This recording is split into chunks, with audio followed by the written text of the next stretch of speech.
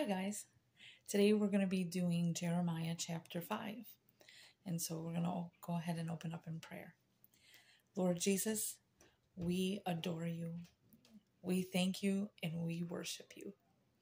We invite you into this study. We ask that you would take control. Anoint our minds to receive what you have for us today. Enlighten the eyes of our understanding so that we can understand and know and receive what you have for us. In the precious name of Jesus Christ, we pray. Amen. All right. Jeremiah 5, starting with verse 1. Run ye to and fro through the streets of Jerusalem, and see now and know, and seek in the broad places thereof, if you can find a man, if there be any that executes judgment and seeks the truth and I will pardon it. So God is presenting a challenge um, here um, to Jeremiah, to the people, to go and look and see if there's one person. He said that's executing judgment, that's just doing, performing what's right.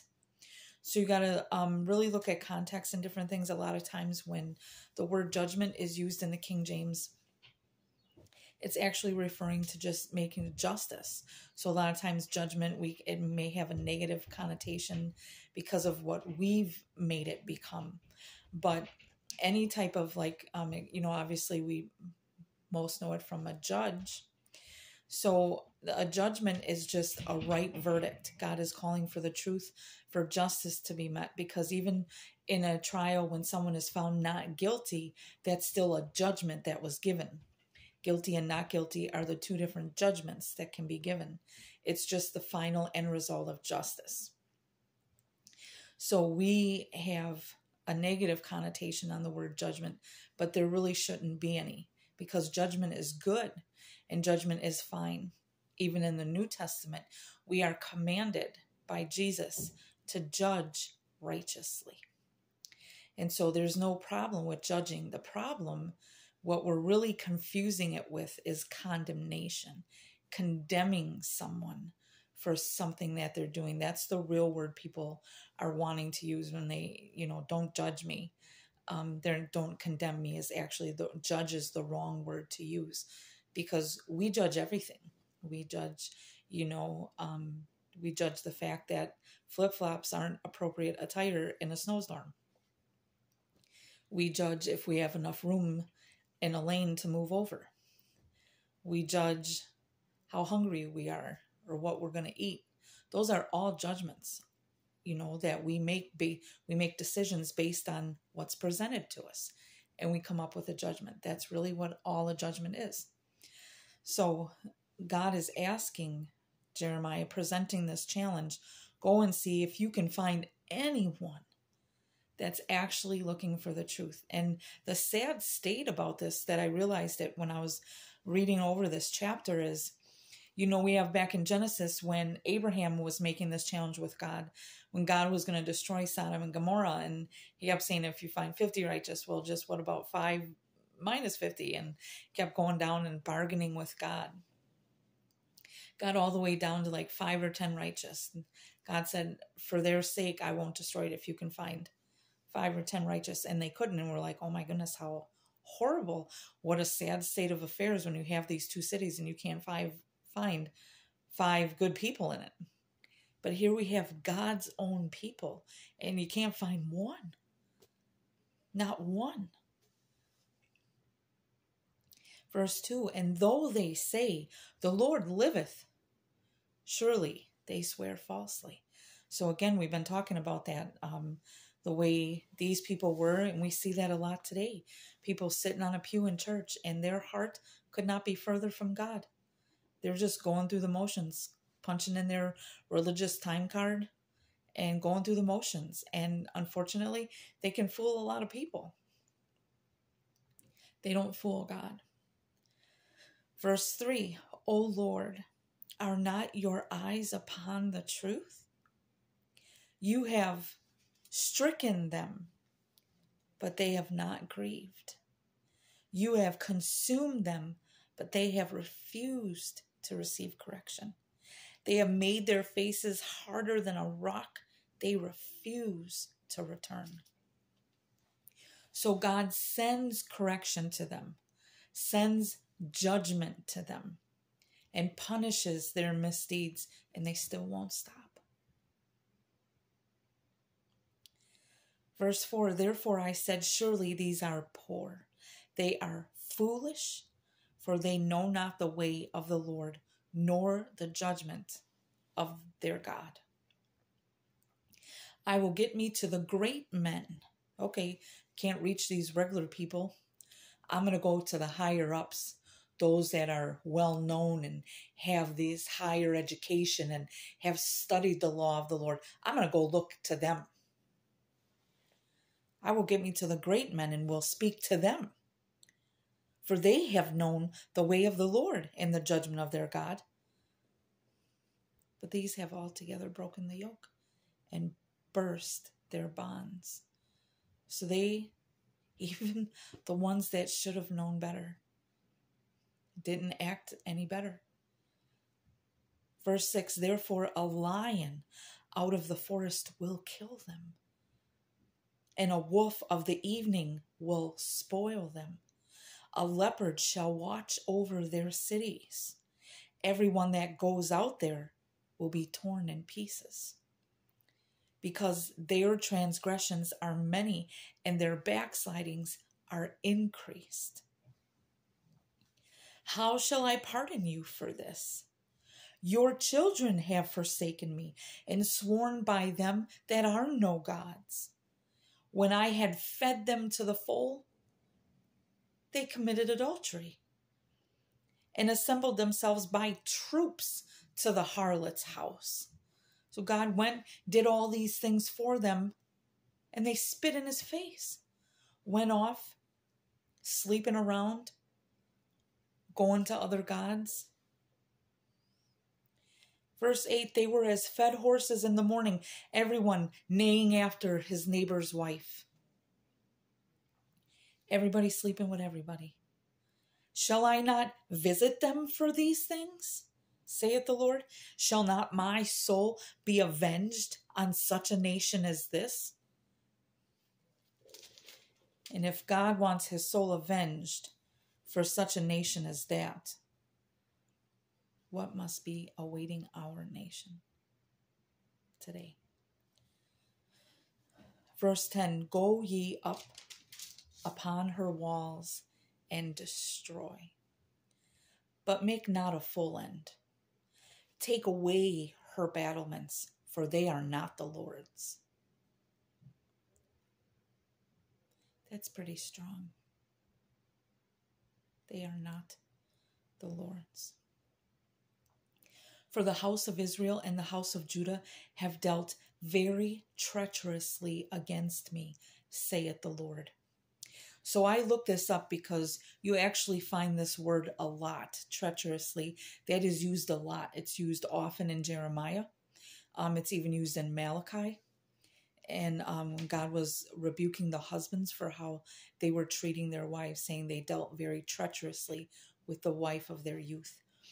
And so I wanted to look this up and I, I want to encourage you when you're reading scripture to not only look up the original text, um, the Hebrew um, lexicons, and see what the real meanings were, but even basic words that you think you know, I want you to look them up because there will be other definitions that you didn't even know about, and this is an excellent case.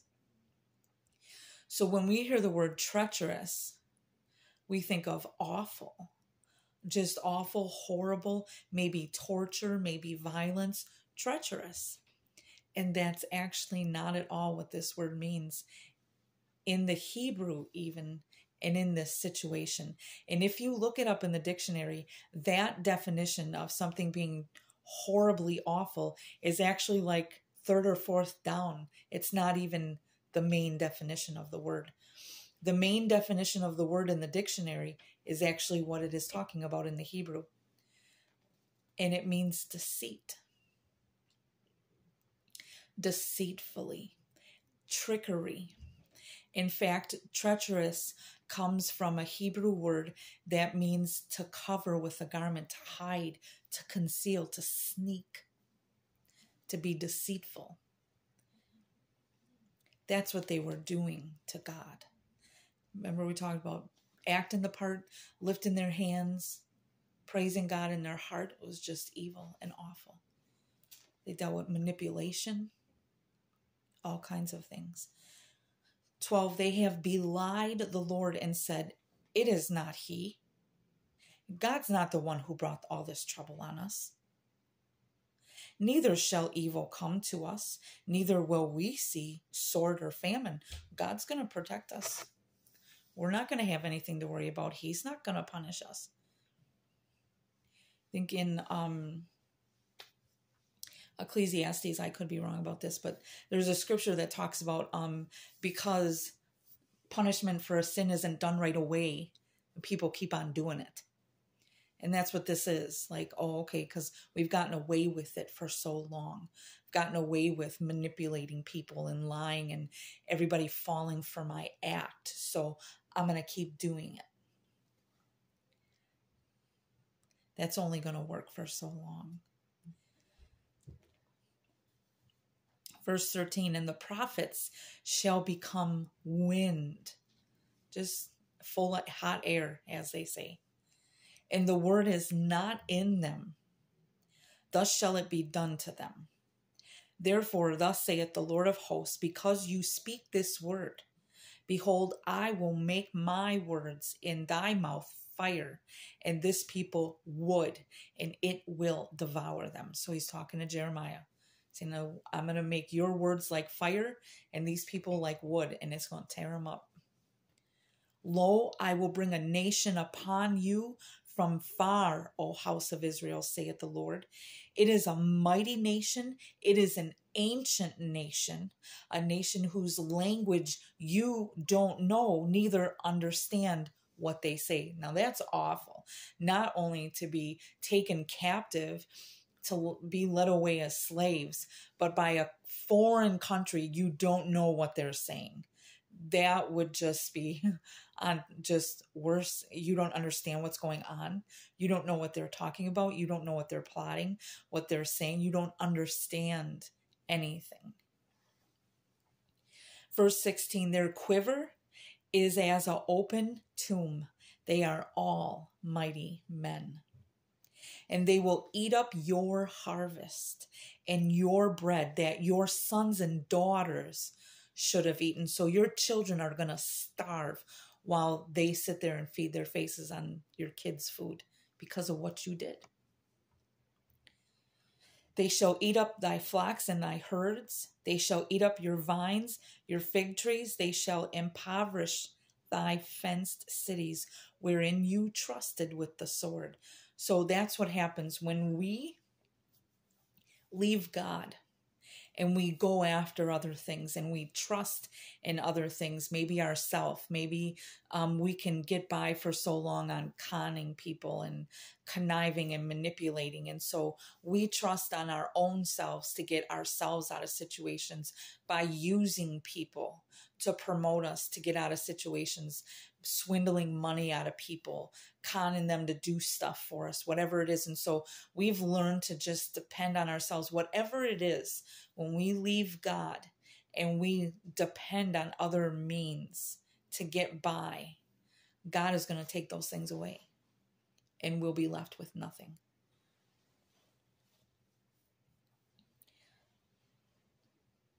Verse 18 Nevertheless, in those days, saith the Lord, I will not make a full end of you.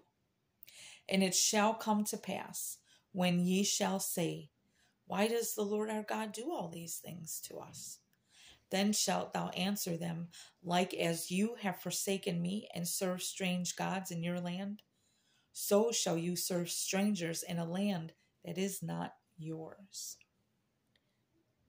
Declare this in the house of Jacob and publish it in Judah, saying, Hear now this, O foolish people, without understanding, that have eyes and you can't even see, ears and you don't even listen. Will you not fear me, saith the Lord? Will you not tremble at my presence, which have placed the sand for a boundary of the sea by a perpetual decree, and it cannot pass it? And though the waves thereof toss themselves, yet they cannot prevail. Though they roar, they cannot pass over it. But this people has a revolting and rebellious heart. They are revolted and gone. Neither do they say in their heart, Let us now fear the Lord our God. He's the one who gives us rain, the former and the latter in its season. He reserves to us the appointed weeks of the harvest. No one even stops to consider, hey, God's the one who brought us this far. Maybe we should turn to Him. Maybe we should thank Him. Maybe we should follow Him. Verse 25 Your iniquities have turned away these things, and your sins have withheld good things from you. For among my people are found wicked men, and they lay wait like those who are setting traps. They set a trap and catch people. As a cage is full of birds, so are their houses full of deceit. Therefore, they are become great and waxen rich. So they got all this money off of swindling, conniving, using other people, has made them the money and the life that they wanted by conning other people. They have grown fat, they shine. Yea, they overpass the deeds of the wicked. Your mm, God's own people became worse than the heathen. And I looked this up when it says they are grown fat, they shine. Um, shine comes from the Hebrew word, it means um, chic or slick. They're slick, deceiving. You know, like um, almost like black ice, you don't even know what's coming. And you know, you're just walking and you think it looks it looks one way to you till you take a step and can cause great damage. You fall, lose your balance, and you're going down. So God's people are worse than the wicked. They judge not the cause of the fatherless, yet they prosper. And the right of the needy they do not judge. They don't care about poor people. They don't care about people who need justice in different situations. All they care about is getting richer we can relate a lot to that. Verse 29 Shall I not visit for these things, saith the Lord? Shall not my soul be avenged on a nation such as this? A wonderful and horrible thing is committed in the land. And when it says wonderful, it's not the wonderful we think of. Full of wonder, full of awe, like you're, are you serious right now? Devastation Okay. A devastating and horrible thing is committed in the land. The next and last verse tells us what that devastating, horrible thing is. The prophets prophesy falsely. The priests bear rule by their means. And my people love to have it this way. But what will you do in the end? All the stuff that you're trusting in, when it's stripped away from you and you have nothing left but the unrelenting judgment of God poured out upon your life, what are you going to do then? Are you going to still harden your heart? Are you still going to fight? Are you still going to run? Are you going to surrender? It's very important what he talked about here. The prophets prophesy lies. And the priests bear rule by their means. So the spiritual leaders get control over the people, use what they can to just control and manipulate people. And it's so sad because you see today so many pastors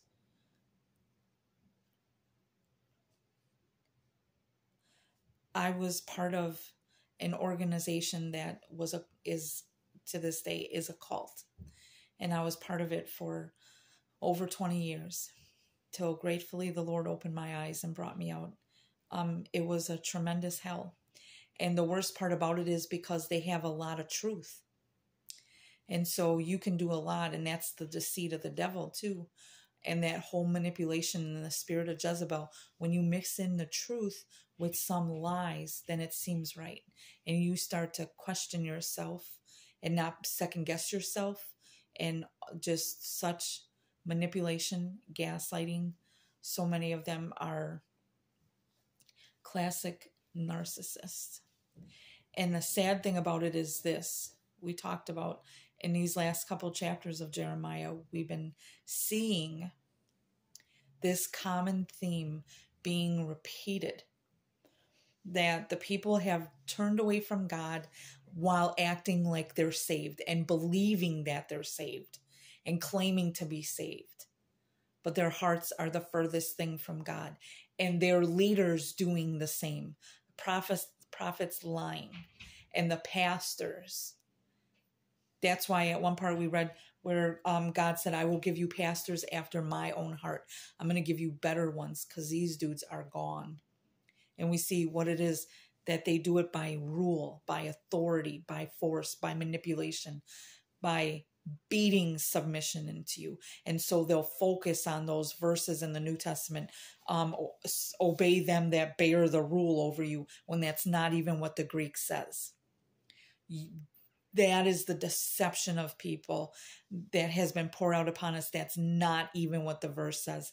You look in the original Greek and it's submit to them that lead you, not bear rule. But them pastors sure love that verbiage, don't they? Yep. I'm going to rule. And that's what they do. They go and they set up their own little kingdom. That's why all their friends and family are in the leadership positions. It's not about who's called, it's about who they know. And that's what they do. It's sick.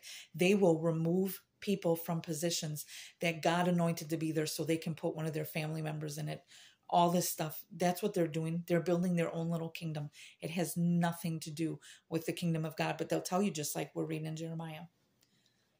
And this is the scariest thing um, that what we've been going over, the sad irony. Um, the last pastor that I had in that cult, um, he actually stood up there in the pulpit one day and made a joke and was laughing at people who claim to hear from God, that God speaks to them.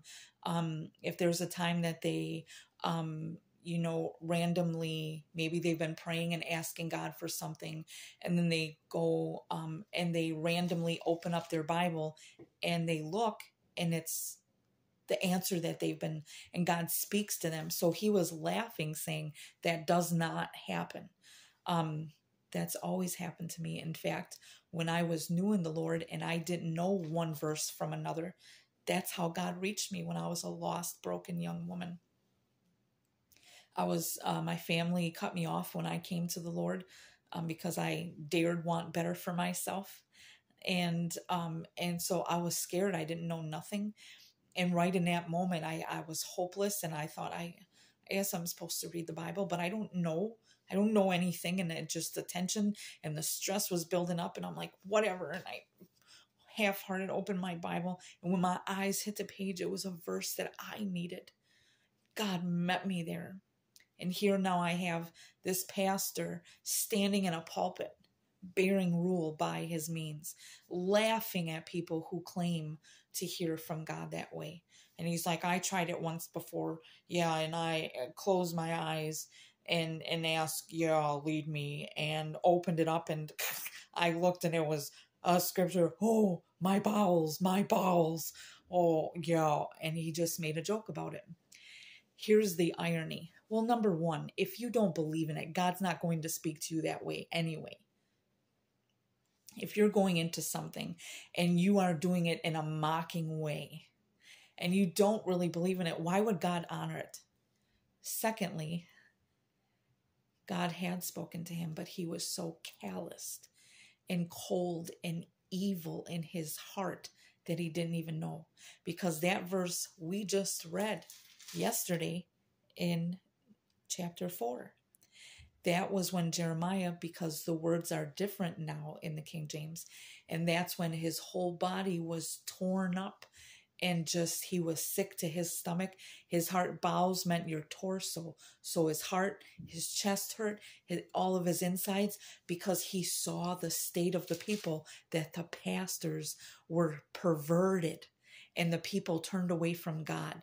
So here is this pastor saying, Yeah, the, my balls, my balls, and didn't even know God was speaking right to him that his heart was evil and he was away from God and he laughed it off and he will claim that he is the one with the truth, just like these people.